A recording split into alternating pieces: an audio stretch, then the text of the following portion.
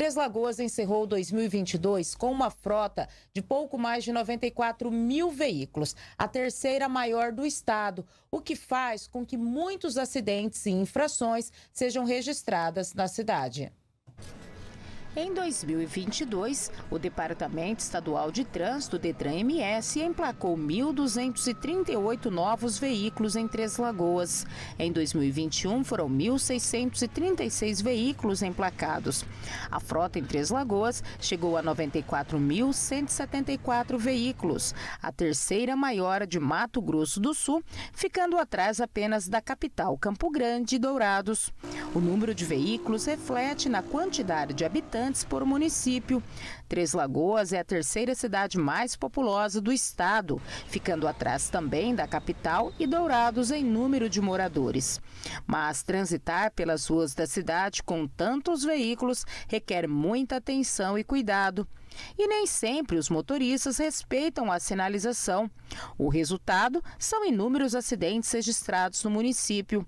No ano passado, foram mais de 200 acidentes registrados pela polícia, sem contar os que nem acabam virando estatísticas porque não houve registro.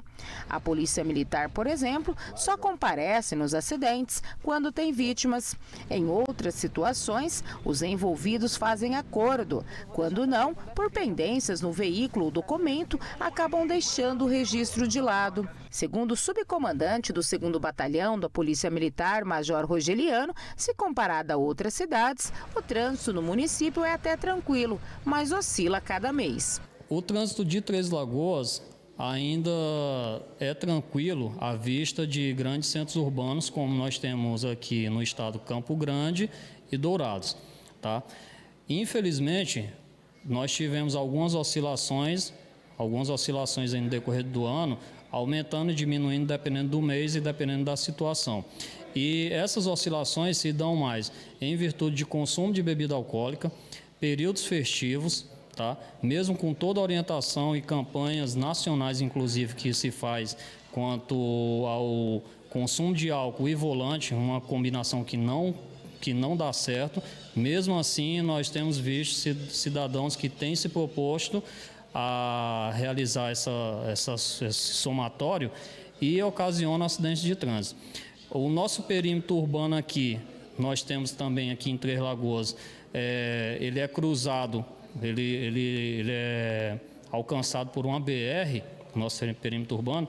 E nesse perímetro, onde nós temos ali a Avenida Ranulfo, nós notamos também alguns acidentes, um aumento de acidentes, mais que tivemos apenas danos materiais, devido ao aumento do fluxo de veículos, inclusive de veículos de grande porte.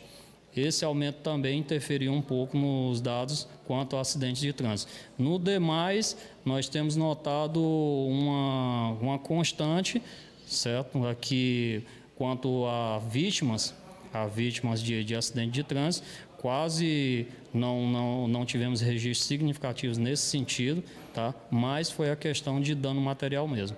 Dados do Departamento Municipal de Trânsito apontam que a maioria dos acidentes registrados em Três Lagoas envolve motocicletas. Os motociclistas são os que mais cometem infrações de trânsito na cidade.